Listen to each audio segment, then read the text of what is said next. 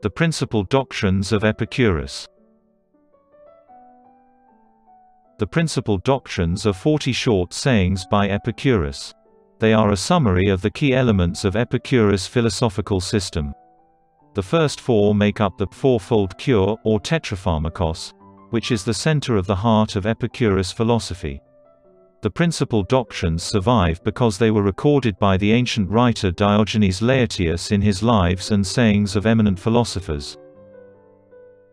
1. A happy and eternal being has no trouble himself and brings no trouble upon any other being. Hence he is exempt from movements of anger and partiality, for every such movement implies weakness.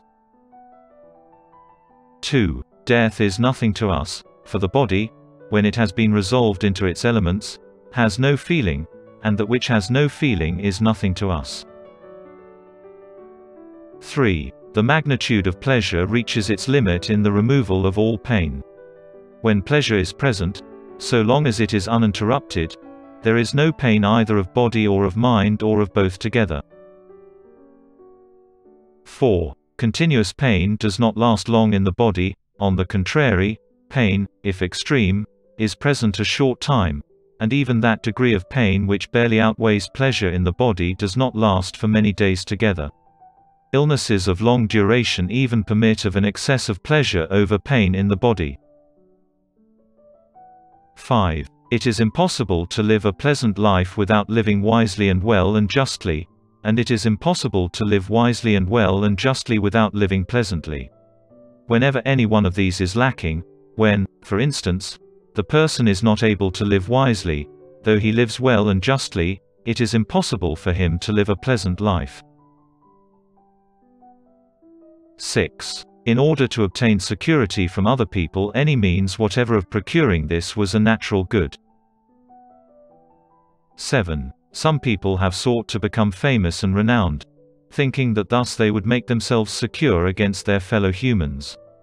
If, then, the life of such persons really was secure, they attained natural good, if, however, it was insecure, they have not attained the end which by nature's own prompting they originally sought. 8. No pleasure is in itself evil, but the things which produce certain pleasures entail annoyances many times greater than the pleasures themselves. 9. If all pleasure had been capable of accumulation, if this had gone on not only be recurrences in time, but all over the frame or, at any rate, over the principal parts of human nature, there would never have been any difference between one pleasure and another, as in fact there is.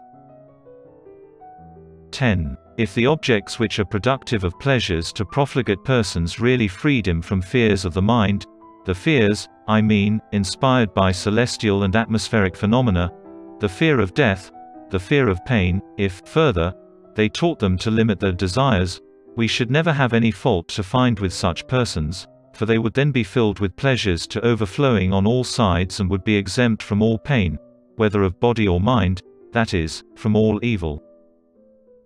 11. If we had never been molested by alarms at celestial and atmospheric phenomena, nor by the misgiving that death somehow affects us, nor by neglect of the proper limits of pains and desires, we should have had no need to study natural science. 12. It would be impossible to banish fear on matters of the highest importance, if a person did not know the nature of the whole universe, but lived in dread of what the legends tell us. Hence without the study of nature there was no enjoyment of unmixed pleasures. 13. There would be no advantage in providing security against our fellow humans, so long as we were alarmed by occurrences over our heads or beneath the earth or in general by whatever happens in the boundless universe. 14. When tolerable security against our fellow humans is attained, then on a basis of power sufficient to afford supports and of material prosperity arises in most genuine form the security of a quiet private life withdrawn from the multitude. 15. Nature's wealth at once has its bounds and is easy to procure, but the wealth of vain fancies recedes to an infinite distance. 16. Fortune but seldom interferes with the wise person. His greatest and highest interests have been, er, and will be, directed by reason throughout the course of his life. 17. The just person enjoys the greatest peace of mind, while the unjust is full of the utmost disquietude. 18. Pleasure in the body admits no increase when once the pain of want has been removed, after that it only admits of variation. The limit of pleasure in the mind, however, is reached when we reflect on the things themselves and their congeners which cause the mind the greatest alarms. 19. Unlimited time and limited time afford an equal amount of pleasure, if we measure the limits of that pleasure by reason. 20. The body receives as unlimited the limits of pleasure, and to provide it requires unlimited time. But the mind, grasping in thought what the end and limit of the body is, and banishing the terrors of futurity, procures a complete and perfect life, and has no longer any need of unlimited time. Nevertheless it does not shun pleasure, and even in the hour of death, when ushered out of existence by circumstances, the mind does not lack enjoyment of the best life. 21. He who understands the limits of life knows how easy it is to procure enough to remove the pain of want and make the whole of life complete and perfect. Hence he has no longer any need of things which are not to be won save by labor and conflict. 22. We must take into account as the end all that really exists and all clear evidence of sense to which we refer our opinions, for otherwise everything will be full of uncertainty and confusion. 23. If you fight against all your sensations, you will have no standard to which to refer, and thus no means of judging even those judgments which you pronounce false. 24. If you reject absolutely any single sensation without stopping to discriminate with respect to that which awaits confirmation between matter of opinion and that which is already present, whether in sensation or in feelings or in any immediate perception of the mind, you will throw into confusion even the rest of your sensations by your groundless belief and so you will be rejecting the standard of truth altogether. If in your ideas based upon opinion you hastily affirm as true all that awaits confirmation as well as that which does not, you will not escape error, as you will be maintaining complete ambiguity whenever it is a case of judging between right and wrong opinion. 25. If you do not on every separate occasion refer each of your actions to the end prescribed by nature, but instead of this in the act of choice or avoidance swerve aside to some other end, your acts will not be consistent with your theories. 26. All such desires as lead to no pain when they remain ungratified are unnecessary, and the longing is easily got rid of, when the thing desired is difficult to procure or when the desires seem likely to produce harm. 27. Of all the means which are procured by wisdom to ensure happiness throughout the whole of life, by far the most important is the acquisition of friends. 28. The same conviction which inspires confidence that nothing we have to fear is eternal or even of long duration, also enables us to see that even in our limited conditions of life nothing enhances our security so much as friendship.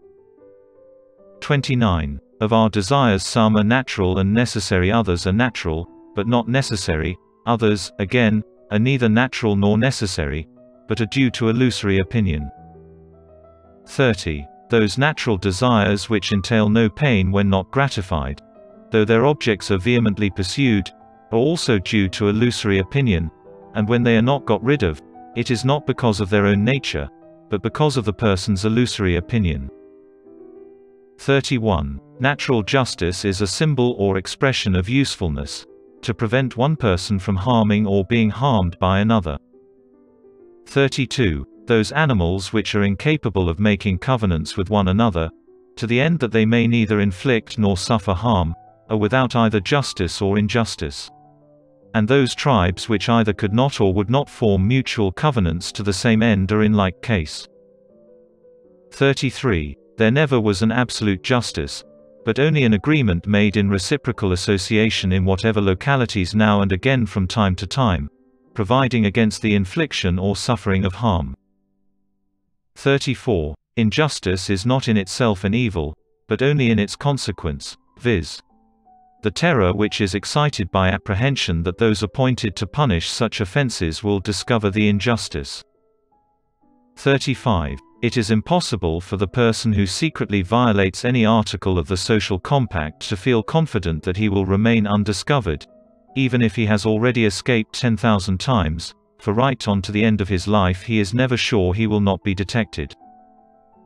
36. Taken generally, justice is the same for all, to wit, something found useful in mutual association, but in its application to particular cases of locality or conditions of whatever kind, it varies under different circumstances. 37. Among the things accounted just by conventional law, whatever in the needs of mutual association is attested to be useful, is thereby stamped as just, whether or not it be the same for all, and in case any law is made and does not prove suitable to the usefulness of mutual association, then this is no longer just. And should the usefulness which is expressed by the law vary and only for a time correspond with the prior conception, nevertheless for the time being it was just, so long as we do not trouble ourselves about empty words, but look simply at the facts. 38. Where without any change in circumstances the conventional laws, when judged by their consequences, were seen not to correspond with the notion of justice, such laws were not really just, but wherever the laws have ceased to be useful in consequence of a change in circumstances, in that case the laws were for the time being just when they were useful for the mutual association of the citizens, and subsequently ceased to be just when they ceased to be useful.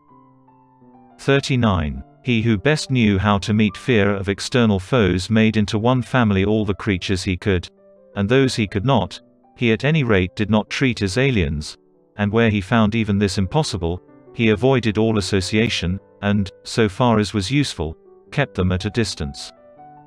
40. Those who were best able to provide themselves with the means of security against their neighbors, being thus in possession of the surest guarantee, passed the most agreeable life in each other's society, and their enjoyment of the fullest intimacy was such that, if one of them died before his time, the survivors did not mourn his death as if it called for sympathy. Thank you for watching.